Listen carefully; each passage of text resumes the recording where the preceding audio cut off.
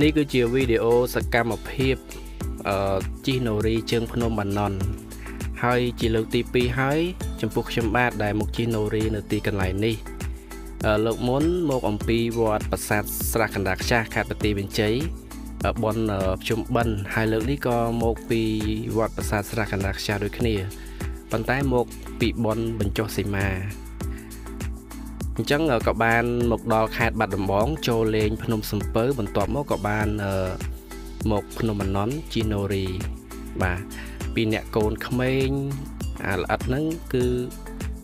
ដើរទៅហើយបាទតម្រង់ទៅកាន់កន្លែងណូរីក្រោយពីទិញសម្បត្តិហើយសម្បត្តិលើកនេះគឺមានពីរប្រភេទប្រភេទមួយនោះគឺយើងអឺសម្រាប់ជីណូរីហើយមួយទៀតគឺសម្បត្តិចូលទស្សនាក្នុងសួនបាទអ ញ្ចឹងកំពុងតែត្រៀមលក្ខណៈត្រៀមខ្លួនហើយបាទហើយលើកនេះគឺមកជាមួយនឹងព្រះគ្រូចាតិកាវត្តទឹកវិលបាទហើយក៏ទទួលអារម្មណ៍រំភើបសប្បាយរីករាយបាទមិនមែនជាលើកទី1ទេប៉ុន្តែនៅតែមានអារម្មណ៍ថាសប្បាយជាមួយនឹងការលំហែក្នុងការជីណូរីបាទហើយមកលើកនេះគឺមកជាមួយនឹងប្រសង់បាទ ហើយនៅតាមផ្លូវហ្នឹងគឺមានទេសភាពស្អាតព្រៃព្រឹក្សាបាទហើយជីខាងមុខបាទនៅពេលដែលយើងធ្វើដំណើរទៅហើយមានគេធ្វើដំណើរត្រឡប់មកវិញក៏នាំគ្នា លើកដៃដាក់គ្នាហូរសបាយតាមផ្លូវបាទ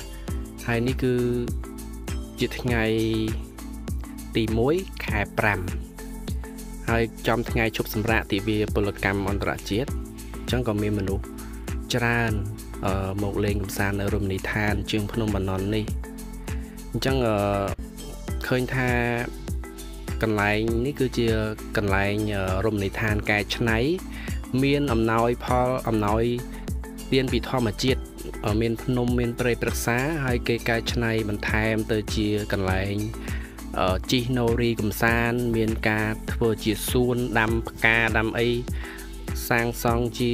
រូបចម្លាក់ផ្សេងផ្សេងបាទគួរឲ្យតាក់ទាញចិត្តតាក់ទាញអារម្មណ៍ភ្ញៀវទេសចរហើយជាពិសេសគឺបងប្អូនខ្មែរយើង ដែលមកអំពីខេត្តផ្សេងផ្សេងបាទមកដល់ខេត្តបាត់ដំបងនេះ គឺមិនឲ្យរំលងនៅ ភ្នំអណន់នេះទេអញ្ចឹងការធ្វើដំណើរគឺបានមកដល់កន្លែងចំណតហើយហើយគោលដៅ បន្ទាប់គឺយើងត្រូវទៅកំសាន្តនៅក្នុងសួនប៉ុន្តែដោយសារតែថ្ងៃក្តៅពេកបងប្អូនកន្លែងសួនហ្នឹងគឺស្អាតណាបងប្អូនមានការរៀបចំឲ្យដីហ្នឹងគឺធំទូលាយមានកន្លែងប្លែកប្លែកទេសភាពស្អាតស្អាតបងប្អូនដែលចូលចិត្តថតរូបគឺត្រូវប៉ាន់ប៉ុន្តែដោយសារតែពេលនេះគឺចំពេលវេលាដែលថ្ងៃហ្នឹងក្តៅខ្លាំងបាទអញ្ចឹងក៏សម្រាប់ចិត្តថាមិនដើរ ទៅឲ្យសពកន្លែងទេបាទក៏នឹកឃើញថាក្តៅខ្លាំងពេកក៏